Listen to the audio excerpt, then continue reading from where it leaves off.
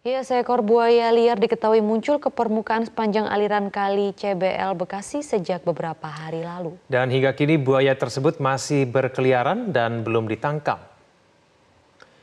Hingga Sabtu pagi, buaya yang berada di kali CBL Bekasi masih berkeliaran dan belum dilakukan penangkapan.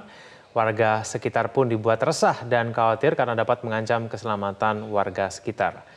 Diketahui kemunculan buaya ini menghebohkan warga dan sempat viral di media sosial karena terekam kamera warga.